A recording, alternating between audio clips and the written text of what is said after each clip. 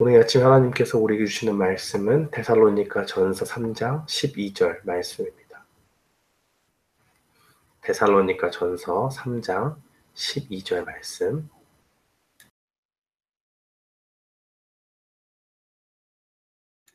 우리 다 찾으신 줄 알고 함께 봉독하겠습니다.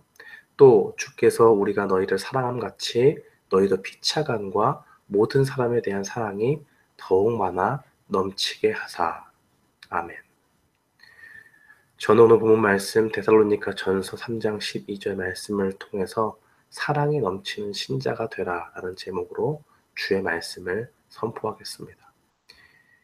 사도 바울은 데살로니가 교인들을 위해서 지금 기도하고 있는 어, 본문을 우리가 읽은 것입니다. 이 바울은 그 기도의 내용을 의도적으로 적으면서 데살로니가 교인들의 믿음의 부족함을 어, 채우려고 하는 것을 어, 볼 수가 있습니다. 왜냐하면 자기 스스로 혼자 기도하는 것이 아니라 데살로니가 교인들이 받아들고 읽을 수 있는 편지에 적었기 때문에 우리는 어, 분명한 의도와 목적을 가지고 어, 바울이 그렇게 어, 이 기도문을 작성했다라고 그렇게 어, 미뤄 살펴볼 수가 있습니다. 11절에서는 이 영적인 전쟁에서 승리를 주실 분은 오직 전능하신 하나님 뿐이라는 것을 우리에게 알려주었고 그 전능하신 하나님이 바로 우리의 아버지가 되신다는 사실을 바울은 기도를 통해서 우리와 또 이 편지를 들어 읽고 들, 어, 들어서 읽어, 읽게 될 어, 데살로니가 교인들에게 말해주고 있습니다. 또한 사도 바울은 본문에서 데살로니가 교인들이 사랑이 넘치게 달라고 간구하고 있는 것을 봅니다. 왜 그러냐? 그들이 비록 환란이 왔을 때 믿음으로 한 번은 잘 버텼죠. 그것은 분명 잘한 것이지만 또다시 그들에게 환란이 있을 때 흔들리는 사람이 있을 수 있기 때문입니다. 왜냐하면 현실적인 피부에 와닿는 문제들을 경험하면 사람의 믿음은 흔들릴 수 있기 때문에 그렇죠. 그런데 사, 도 바울이 생각하는 것은 무엇이냐? 그 어, 흔들릴 수 있는 그 상황 가운데 핍박과 박해가 있는 그 현장에서 무엇이 있으면 우리가 이길 수 있느냐라고 이야기할 때 사랑이 있으면 이길 수 있다는 것을 전제로 이야기하는 것입니다. 왜 그런가? 이 신앙의 신앙의 영역을 떠나서 일반적으로 실생활에서 어떤 문제가 있어서 고통을 받는 거, 불편함이 있는 거는 그 문제를 해결하면 돼요. 예를 들어서 뭐 집에 있는 물이 흐르고 있는 그 파이프가 구, 고장이 나가지고 구멍이 나서 물이 좀 샌다고 생각을 해봅시다. 그러면 집에 신발들이 이제 물이 젖어 물 때문에 젖지 않겠습니까? 그러면 간단해요. 신발 치우고 그 파이프를 바꾸든지 아니면 그 구멍 난 부분만 물을 잠그고 어, 잘 이렇게 메꾸거나 떼어가지고 어, 파이프를 고치거나 뭐 새로 교체하면 되는 것이죠. 어, 그렇게 어렵지 않습니다. 그러나 당시의 데살로니가 교인들 상황에서 어, 직면한 문제는 이런 이런 소소한 문제가 아니고 믿음에 관한 것이었죠. 믿음을 가졌기 때문에 환란을 당하는 불편함과 여러 가지 어, 박해를 받았죠. 근데 이걸 포기하려면 어떻게 됩니까? 이것을 면하려면 어떻게 해야 되죠? 가장 먼저 사람들이 생각하는 것은 무엇이냐? 예수님을 믿는 믿음 때문에 고난을 받으니 그것을 포기하는 것이 가장 쉬운 것이다 라고 생각할 수 있지 않습니까? 근데 이게 왜 공동체의 문제가 되느냐? 개인이 믿음을 포기하는 것도 마음이 아프고 큰일이지만 그들이 믿음을 저버릴 때 다른 믿는 자들도 함께 위험에 빠질 수 있기 때문에 그렇습니다. 개인의 문제가 공동체에 큰 타격을 줄 수 있는 것이죠. 뭔가 좀 말이 잘 와닿지 않는다면 쉽게 생각해서 이렇게 생각하면 돼요.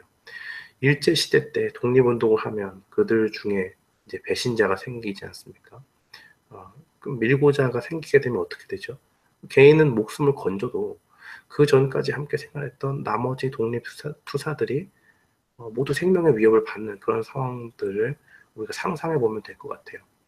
그런 배신자가 생기기도 하고 배신은 안 했지만 흔들리던 했던 사람도 그 이후에 또 그때 뭔가 변절자가 될 뻔 했지 않냐 하면서 의심을 살 수 있는 그러한 공동체의 이렇게 통일성을 결집력을 깨버리는 그러한 어, 위험들이 있다는 것입니다.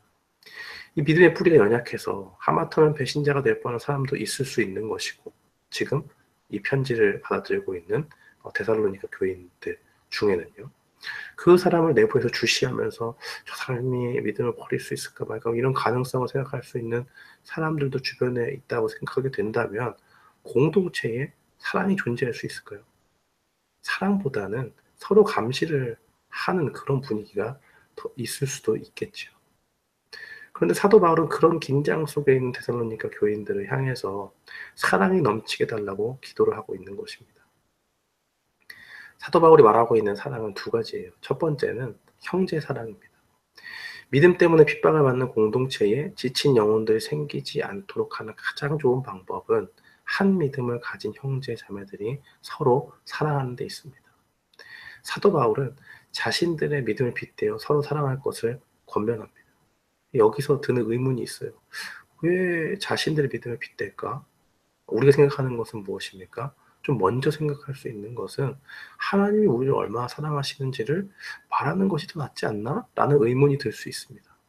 근데 왜 바울은 데살로니카 교인들을 향해서 자신과 자신과 함께 했던 또 그 동역자들의 사랑을 근거로 형제 사랑의 근거로 이렇게 예, 들었을까요?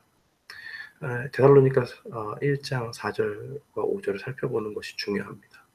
하나님의 사랑을 사랑하심을 받은 형제들아 너희를 택하심을 아노라.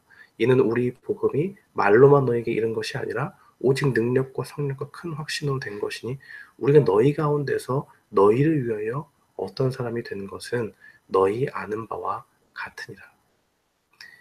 이 바울이 데살로니가 교인들에게 음, 복음을 전하면서 그 전한 자신과 동역자들의 믿음을 본을 들어서 이야기 하는데 오늘 본문에서 이 사도 바울과 그 동역자들이 그들을 사랑한 전제는 자신들과 더불어 하나님의 사랑을 받아서 함께 택한 아, 받은 자들 자들이다라는 것을 분명히 명시하고 있습니다. 즉 우리는 하나님을 같은 우리 아버지로 두고 그 아래 있는 형제 자매라는 사실이죠. 어, 사도 바울이 그들을 어떻게 사랑했느냐라고 이야기하면 데살로니가 전서 2장 5절 이하에 잘 나타나 있습니다. 바울은 그들에게 나쁜 의도를 가지지도 않았고요. 그들의 환심을 사기 위해서 아무 때나 마첨하고 기분을 좋게 해주고 이르지 않았어요.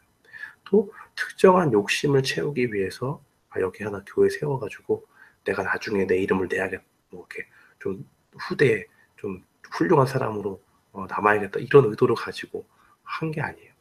또 어떤 특정한 욕심을 채우기 위해서 탐심을 가지고 그들에게 접근한 것도 아닙니다. 또 사도로서 권위가 분명히 있지요. 근데 그 권위를 가지고 데살로니가 교인들에게 간다고 해서 어느 정도, 어느 정도 대접받는 거 이상한 일이 아닌데 그 대접받으려는 마음도 기꺼이 포기했어요. 권위를 내세우는 대신에 마치 어머니가 자녀를 잘 키우기 위해서 노심초사하고 사랑으로 이렇게 부드럽게 대하고 하듯이 그렇게 데살로니가 교인들을 대했습니다. 여기에 더해서 데살로니가 교인들을 사랑했는데 목숨을 다해서 사랑을 했다고 증거하고 있고요. 이것은 마치 우리 주님이 우리를 사랑하셔서 자신의 목숨을 십자가에서 내어주신 것과 같은 그러한 원리인 것입니다. 또한 생업 가운데 종사하면서 밤낮으로 열심을 내어서 그들의 경제적인 짐을 지우지 않고 어, 스스로 어, 사, 사도들과 그 동역자들이 자신들의 먹을 것은 또 입고 할 것은 스스로 생계를 감당하면서 그들에게 복음을 전했죠.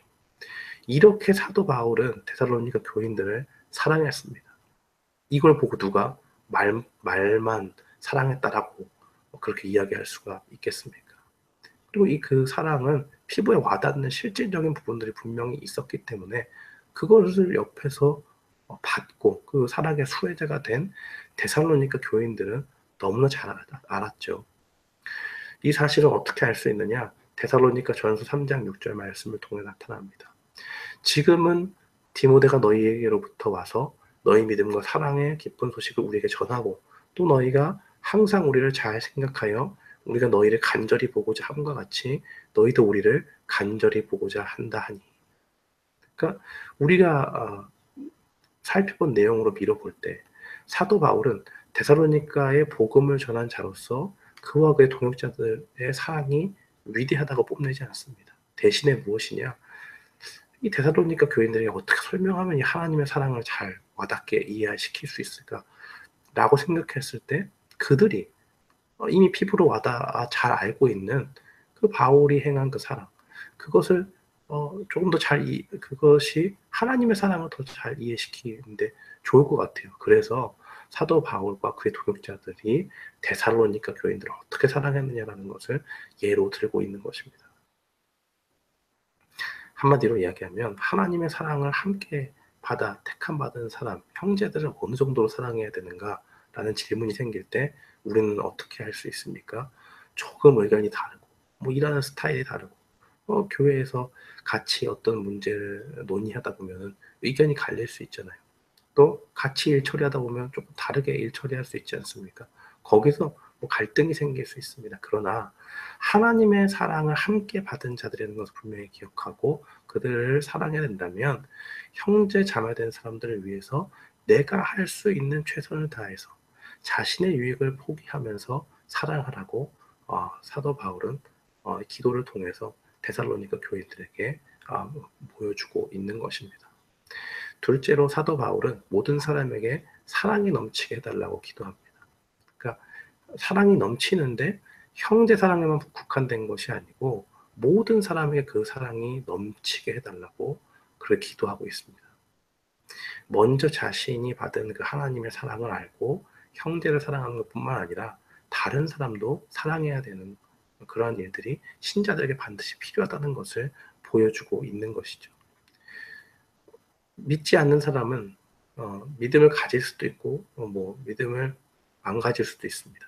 그러나 우리는 누가 믿음 가운데 우리와 같이 구원을 받은 받을 형제 자매인지 또 그렇게 그렇지 않은 사람인지 알 길이 없어요. 그러니까 우리가 그들에게 어, 그런 선입견을 가지고 대하는 것이 아니라 모든 사람이 다 구원받기로 어, 작정된 한 형제 자매의 것을 전제로 그렇게 사랑해야 됩니다. 또한 우리 주님은 우리가 죄인일 때 먼저 사랑하셔서 우리를 그의 자녀로 불러 주셨지요. 또 하나님이 죄인 된 우리를 먼저 사랑하셨으니까 우리가 또한 그와 같이 모든 사람을 사랑해서 사랑을 베풀어야 하는 것이 마땅합니다. 또 이 기도를 어, 편지로 읽고 있는 데살로니가 교인들에게는 믿음을 가지기 전에 사도들이 그들에게 오고 복음을 가지고 어, 사랑을 실천한 어, 그런 모습들이 연상되었을 것입니다. 우리 주님께서는 심지어 원수도 사랑하라고 그렇게 말씀하신 것을 우리는 분명히 기억합니다. 오늘 이 사도 바울의 기도를 통해서 우리는 이 기도가 우리와 무관하지 않다는 것을 분명히 기억합니다. 오늘 이 말씀을 통하여서 형제를 사랑하고 모든 사람에게 사랑이 넘치게 어, 그렇게 대하는 우리 모두가 되기를 주님의 이름으로 축원합니다. 아멘.